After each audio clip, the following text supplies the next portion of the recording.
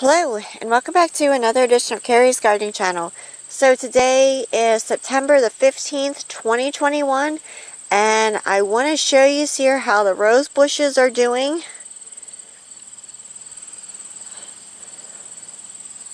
So uh, we're going to be taking a walk through here. I'm going to show you um, what's blooming. I'm going to talk about one of my new favorite varieties that I see really has a lot of blooms on it. So I'm going to walk down through here. So we're starting, these here are the knockout roses here. You can see we have quite a few blooms coming on these.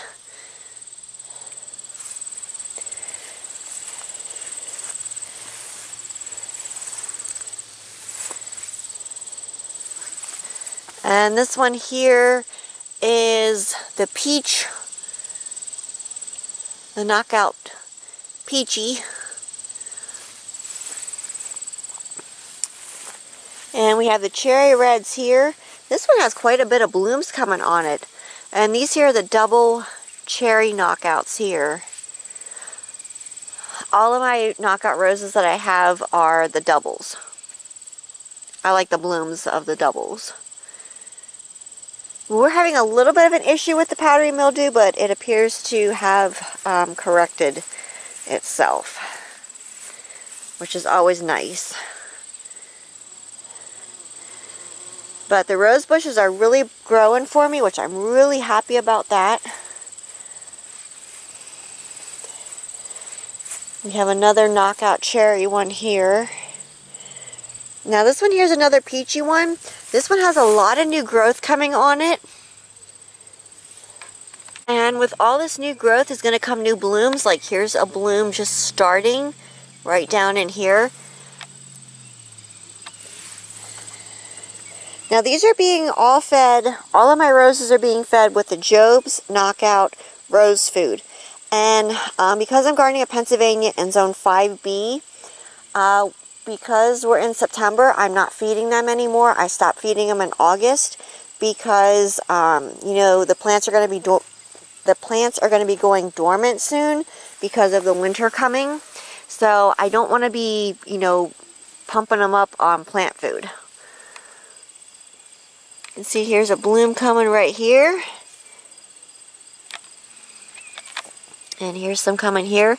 Now, uh, knockout roses and some different rose bushes, they kind of can bloom in like, I call them flushes, because you'll get like a big flush of blooms and then they kind of regenerate themselves and they start blooming again. So I'm going to show you some of my other rose bushes that I have blooming.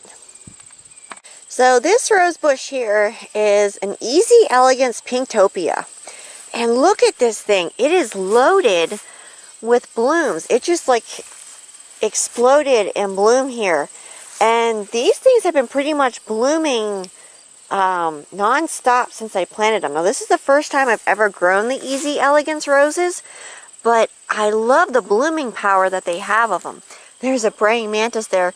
We have a lot of praying mantises around this year. And all of these rose bushes have grown quite a bit since uh, we put them in earlier this year. But I love the blooms of these. It's a real pretty double bloom on them. And uh, it seems to bloom quite a bit. It has a lot of new growth on it. And a lot of them have, they bloom like multiple blooms on one top stem.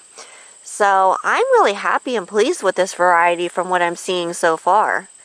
And I have another one over here. This is another Pinktopia Easy Elegance here.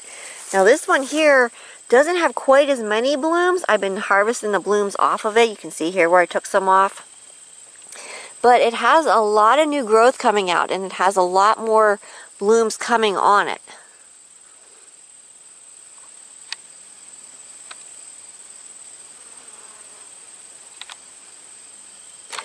And we have the blooms over here coming. Here you can see here.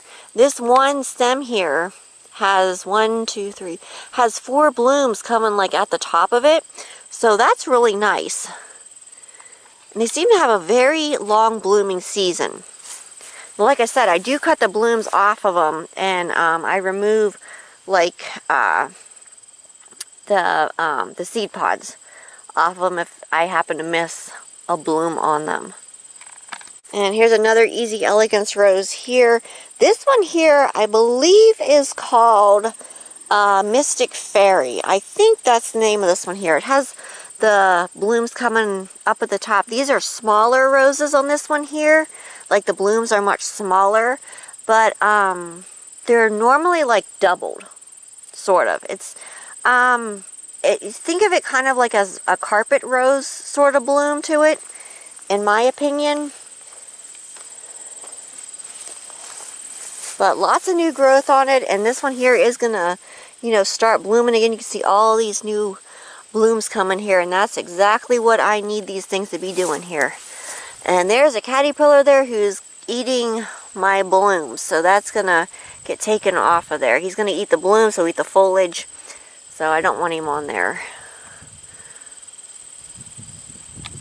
And this one here is another Easy Elegance. This one here is Paint the Town.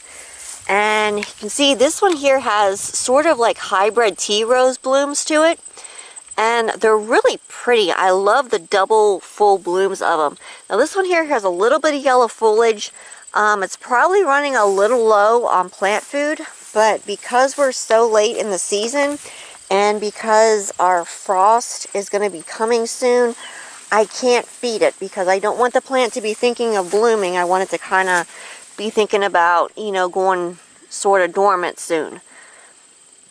But you can see this here is another one that's loaded with blooms coming. Beautiful blooms here. Let me show you here. Here's some more down here.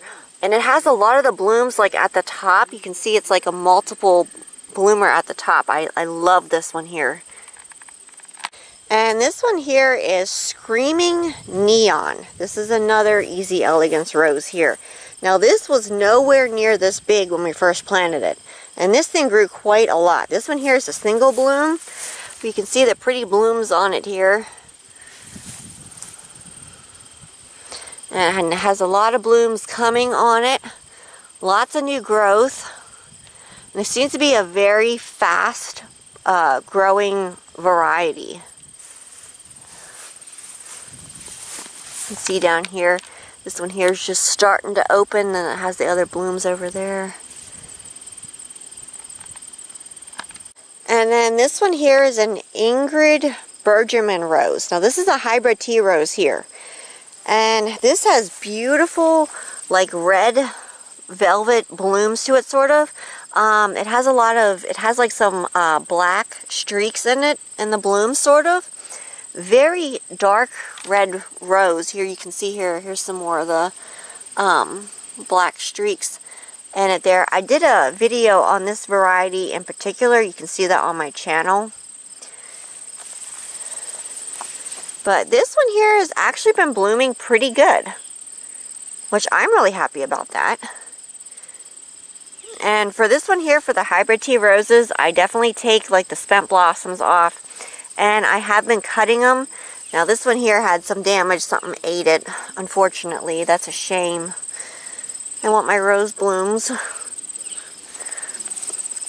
But you can see it has new blooms coming on it. Your hybrid tea roses typically, um, they're not going to bloom like your other ones down that way, like the knockout roses and the easy elegance roses.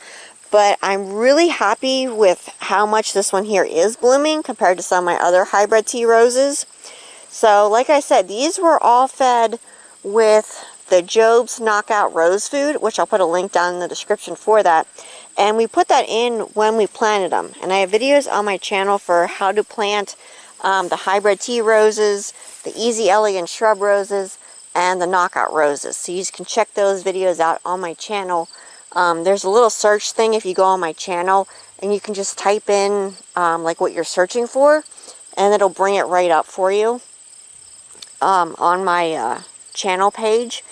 So um, I did quite a lot of uh, videos this year for the roses but I'm really happy with the varieties that I selected. I love the blooms of them and uh, I look forward to seeing how these do over the winter time and into spring.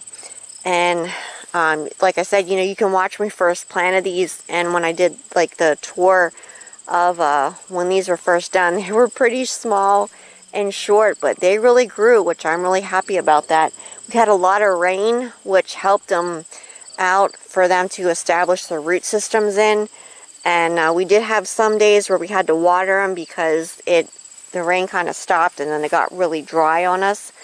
But, you know, I'm really pleased with how well they're doing. So I am going to be coming back with update videos on these and, um, you know, really looking forward to seeing what they look like in uh, the springtime after fall, or, yeah, after fall, after winter, sorry about that, after winter like is over and uh, everything starts growing back out again. I'm really looking forward to uh, seeing, you know, how they look and how well they do. I will be coming back with videos on uh, feeding them then when uh, we get them fed. This variety here, the Pinktopia, is supposed to be hardy to, I believe, zone 4. So, um, we're growing in zone 5. So, that should have a really cold hardiness to it. So if you like my video, please like, comment, subscribe. Please don't forget to hit the little notification button. Tell you as I put a new video on. You can also follow me on Twitter. I have a link down in the description for my Twitter account. Thank yous for watching and have a nice day. Bye!